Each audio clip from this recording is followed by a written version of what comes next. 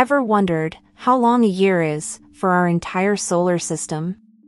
It's called a galactic year, the time it takes for our solar system to orbit once around the center of the Milky Way galaxy, about 225 to 250 million Earth years, often rounded to 230 million for rough calculations. Our solar system, including the Sun, planets, and everything bound to it, is moving at about 514,000 miles per hour around the Milky Way, that's roughly 230 kilometers per second, due to the combined gravity of the Milky Way stars, interstellar gas, and dark matter, with the supermassive black hole, Sagittarius A star, marking the galaxy's dynamical center. Since our solar system formed about 4.6 billion years ago, it has, thus far, completed only about 20 of these galactic years. Each orbit reshapes our cosmic neighborhood, reminding us that even on the largest scales, time never stands still.